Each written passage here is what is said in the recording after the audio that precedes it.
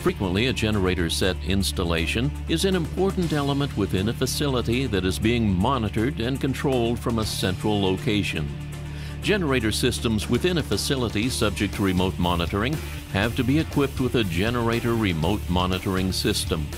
A generator system includes numerous control functions and sensors to detect a variety of criteria essential to providing the operational status of the system.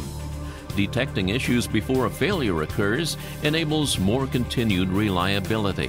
Sensors linked to remote signaling include, but are not limited to, whether the set or utility is supplying the load with the required voltage and amperage outputs, hours the system has to run before its next service interval, and generator sensors for many conditions such as oil pressure, coolant temperature, fuel levels, engine speed, and oil level.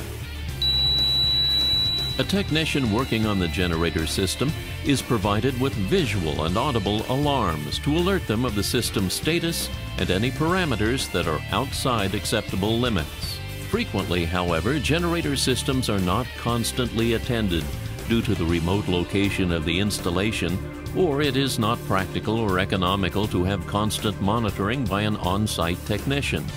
In many cases, the generator may be one of many in an extensive network. For these types of installations, remote monitoring is the most practical and economical solution. To facilitate remote monitoring and operation, the generator controls are equipped with a remote annunciator panel. Constant monitoring of the status of a standby generator system is very important, especially for critical life and economic installations.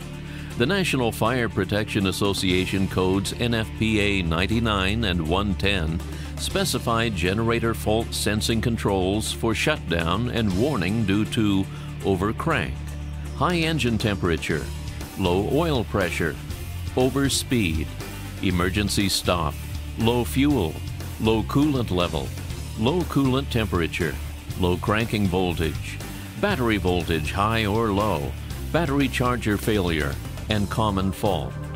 The annunciator will also monitor EPS supplying load, not in auto, system ready, generator running, and communication status. The module can either be hardwired through the communications module to the operator's computer or connected by a wireless link. For remote monitoring, the remote annunciator in the generator controls has to be connected to a communication interface module either by a hardwired system or through a wireless system. The remote monitoring can be hardwired through a network with a communications interface module connected through a modem to the computer screen.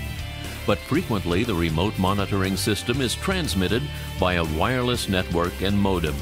Remote monitoring gives technicians the ability to view the status of a single generator set or a complete network of generator systems and warns them of any existing or potential faults.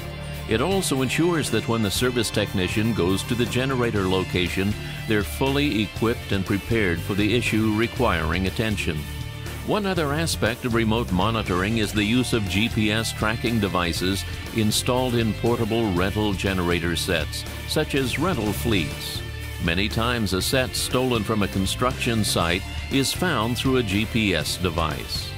Today's generator set manufacturers can satisfy almost any customer requirement in terms of monitoring the status of their generator sets latest advances in digital electronic technology and mobile devices have all contributed to systems that can now provide generator operators with an unlimited array of reliable remote monitoring systems.